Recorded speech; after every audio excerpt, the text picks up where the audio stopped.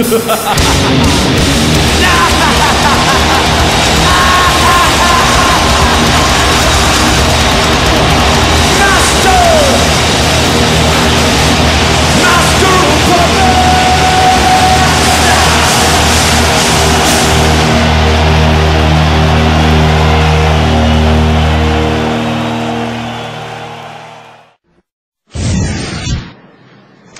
Hola Daniel, el pontificado de Benedicto XVI estuvo marcado por varios escándalos que dañaron la imagen de la Iglesia. ¿Esta decisión pertenece al propio pontífice o algo o alguien lo habría impulsado?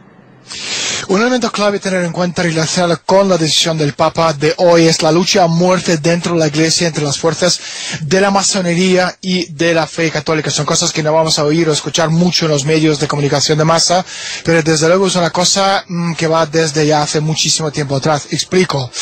El mundo está a punto de cambiarse para siempre. Lo que estamos viendo en directo, la destrucción global de la economía mundial, no es un accidente ni tampoco un error de cálculo cometido a consecuencia de los chanchullos de los políticos ya hemos hablado mucho de eso, somos 7 mil millones de personas y la élite necesita reducir la población mundial, esto ya lo hemos comentado. Por detrás están los poderes fácticos financieros y el Vaticano es una de las empresas financieras más grandes de la historia. Su papel desde siempre ha sido no tanto a salvar las almas de los fieles, sino eh, como una entidad financiera eh, librando esta batalla sin cuartel para proteger la riqueza acumulada casi durante dos mil años.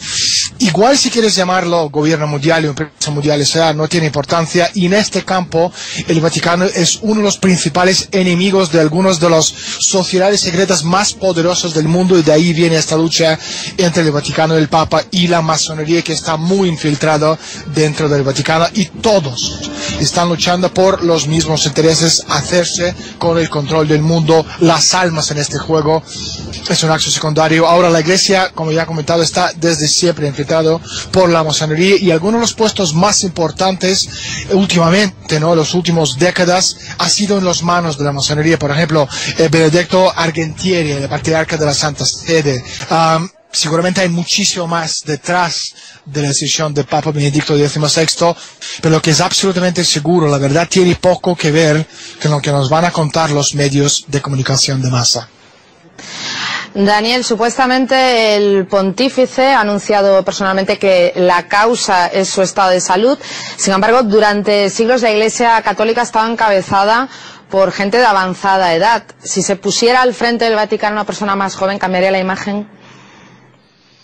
No, porque yo creo que lo que tiene que cambiar es la forma de entender cómo funciona el mundo y esto es una cosa que difícilmente van a entender, porque vuelvo a decir, el Vaticano, la, la, la parte dura, la, la, parte gruesa, el eje, puedes llamarlo si quieres llamarlo así, está en, la mano en las manos de la masonería y eso es una cosa, mm, o destrozas la masonería y la eliminas de la iglesia, o lo que tú vas a tener de aquí hacia el futuro va a ser aún peor de lo que hemos tenido hasta ahora. Now, of course, the Roman Church and Christianity, that is uh, anti Freemasonry and anti secret societies because they're naughty, but it's on his bloody fish outlook. Right? They're everywhere because the same force is in control. Here you go, I have a bit more Madonna. There you go. And, and in the, on the Great Seal of the United States, those 13 stars make up a six pointed star, not by accident. And therefore, again, we keep coming back to this, all these different areas of society are in the end focused on one thing.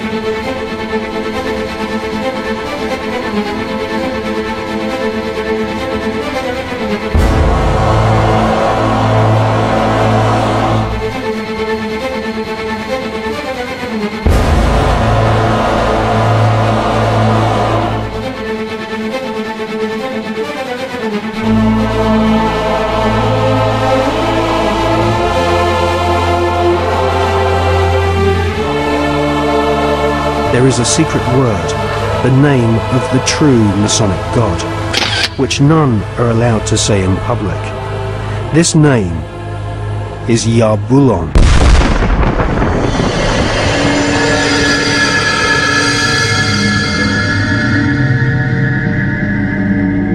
The Masonic God is not the same God of the Bible, which the Masons call Adonai. Yabulon has been described by Christian minister Canon Brian Brindley as an unholy compound of the Hebrew name of God, Jehovah, with the heathen names for Baal and Osiris. The highest ranks of Freemasonry utter Yabulon as the one sacred and mysterious name of God. Yabulon is a tripantheon Masonic god, in part deified as the historical Baal, which the Oxford English Dictionary confirms as being a Hebrew word. Baal is the chief male deity of the Phoenician and Canaanite nations. To the tribes of the Old Testament, Baal was the devil himself.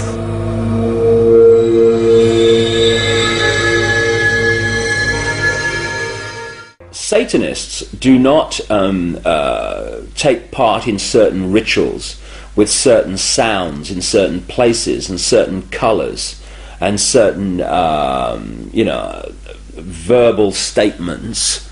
They don't do it because, oh, that'd be nice, let's say that, and then we'll have, shall we have a bit of red, or what do you think? No, no. It's done because everything in this reality is vibration. Um, consciousness in this reality is vibration. Everything is a vibrational field. This is how astrology works. Um, uh, when we're born, uh, the, where the planets are, they're sending out um, uh, vibrational uh, uh, projections that are affecting the vibrational field that we are born into, and that's why we are affected differently at different times of the year.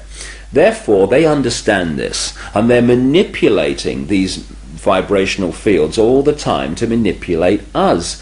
And so these rituals, uh, and oh, just a pageant. It's like it's like the, the Freemasonic rituals. You know, you talk to um, Freemasons. The vast majority of Freemasons not trying to manipulate anyone, not on a mass scale anyway.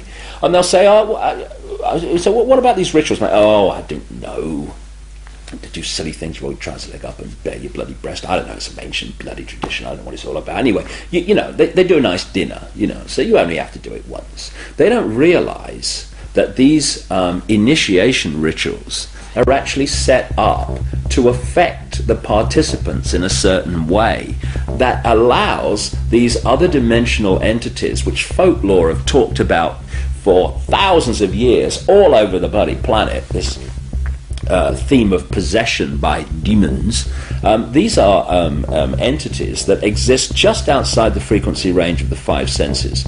Because, you know, again, because of the suppression of basic knowledge of who we are and the nature of life, we become child's play to manipulate. For instance, people look through their eyes and they think they're seeing everything in the space they're looking at. No, no, they're seeing a fraction of it. They're seeing um, a tiny frequency range that the five senses can access. Just like if you tune to radio 1, you get radio 1. You don't get radio 2, you get radio 1.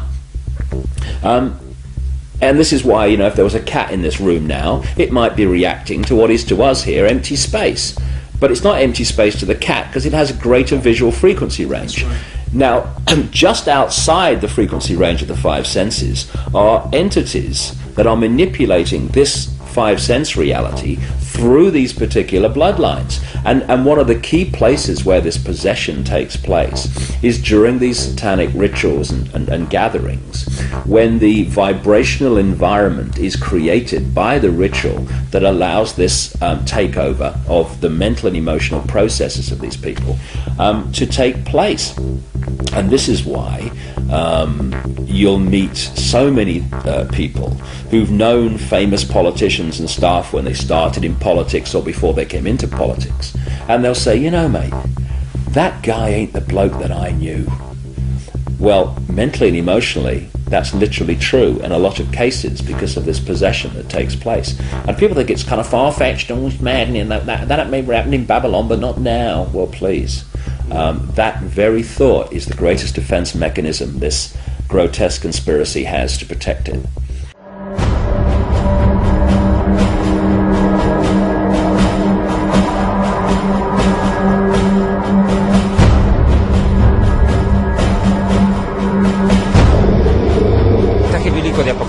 Apocalipsis capítulo 17 y 18 son claramente una descripción de la ciudad de los siete montes. La ciudad de los siete montes de Roma y sobre el monte Aventino es que está instalada la Basílica de el Vaticano. La palabra Vaticano proviene del latín vaticinio, que significa hechicería y adivinación. Partamos de ahí. La ciudad de los siete colinas es Roma, ¿no? de eso no hay más duda. Yo escribí un libro que se llama Historia del Futuro, donde precisamente recopilo la información. ¿Qué dijeron los cardenales? ¿Qué dijeron los papas, como el Papa Busset, por ejemplo, el prelado Busset de Francia? Todos ellos interpretan el Apocalipsis 17 dentro de la misma Iglesia Católica como en la ciudad de Roma. O sea que esto no es un invento de los evangélicos. No, aquí no. Los mismos católicos romanos, los teólogos católicos, saben que Apocalipsis 17 y Apocalipsis 18 los describen a ellos. La iglesia que tiene el cáliz de oro lleno de inmundicia de fornicación, el vino de la inmundicia de su fornicación, la iglesia ramera que se prostituye con los gobernantes de la tierra. Y usted ha tocado un punto importante. A eso voy a llegar. Jesús dijo a César lo que es de César y a Dios lo que es de Dios. Las cosas del Estado y las cosas de la religión no se pueden mezclar. Y cuando eso ocurre, se pierde el sentido de lo que Dios quiso para las cosas. Ok, la Iglesia Católica Romana se ha prostituido tras el poder político. En vez de agradar a Dios, ha buscado constituirse en un poder que regente sobre los gobiernos del mundo. Y en honor a la verdad, es eso lo que ha pasado. Una de las consecuencias de las razones por las cuales se la abdicación papal es porque hay presiones internas muy fuertes, porque la Iglesia Católica ha amasado una fortuna en más de 2000, en, en más de 1900 años de historia. O sea, estamos hablando de un verdadero imperio económico. El Vaticano tiene la plata suficiente para pagar la deuda externa de todos los países pobres del mundo. O sea, no estamos hablando de un, de un rey que cae, sino de un imperio que ha amasado tanta cantidad de dinero, tanta cantidad de fortuna, que no se puede desplomar de la noche a la mañana. Y los poderes fácticos del mundo están tratando de hacerse del control de ella. En los últimos días la Biblia describe que será el anticristo el que tome control del Vaticano. Y claro, el que toma control del Vaticano tiene control de la economía mundial.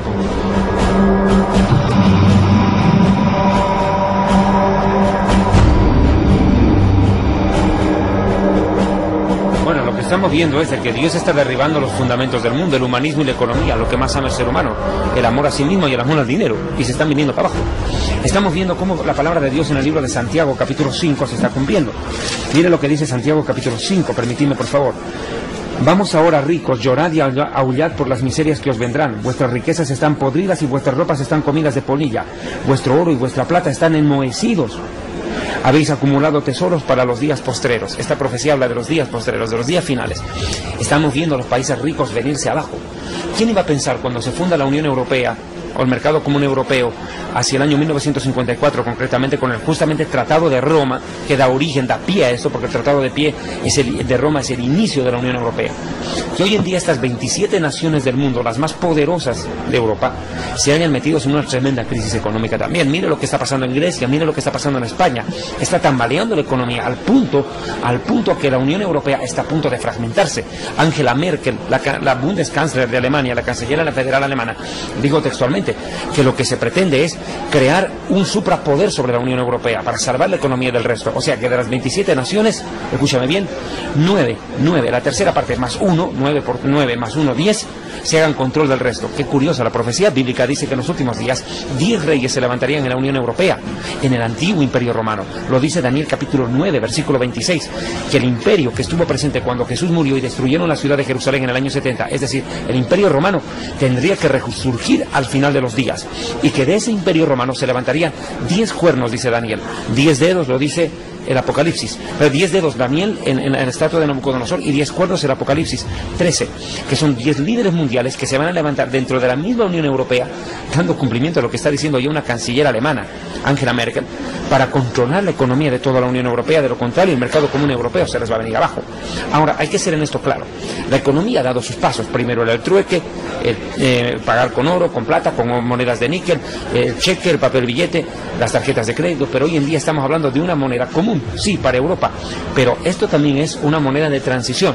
De acuerdo a las profecías bíblicas, se apunta a crear una moneda única en el mundo, no solo en la Unión Europea, mundial. Pero esa moneda no será billete, no será moneda, será una moneda electrónica. Curiosamente, ya se está hablando abiertamente de lo que será el chip. En Estados Unidos, a partir de este año 2013, el presidente Obama ha ratificado que ningún ciudadano americano va a poder accesar a atención médica en los centros médicos a no ser que tenga un microchip implantado en el cuerpo. Y esto ha creado un verdadero aspaviento, porque entre los sectores más conservadores de las iglesias evangélicas de los Estados Unidos y aún de las católicas, esto entienden que es la marca del anticristo.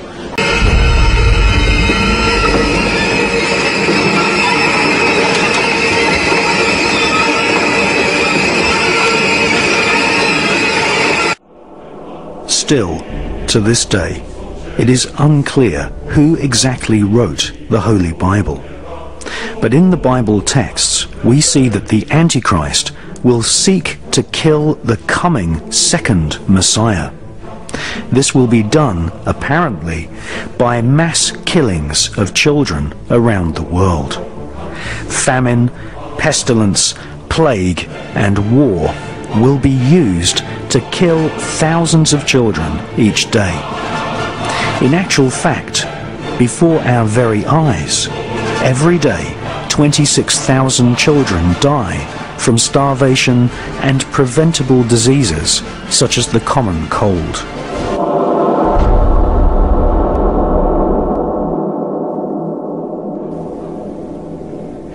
Politicians are advancing a global plan, the plan of the Antichrist. This is the doctrine of Lucifer, which Freemasons, Knights Templar, and members of the Illuminati global network of secret societies follow.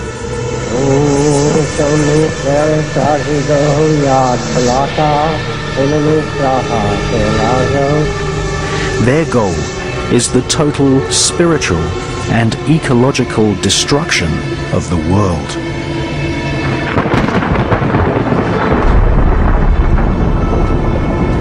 They use advanced technology to spy on and kill whoever gets in their way.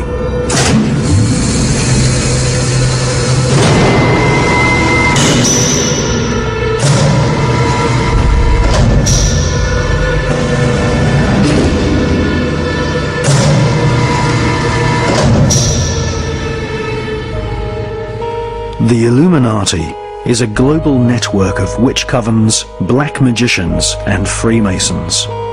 They use a secret code of numbers and words to communicate the plan to one another. They hold rituals right in the heart of the British Parliament and Washington, D.C. The Illuminati have designed the United States as the headquarters for their barbarous plan to bring about the apocalyptic prophecies of the Antichrist.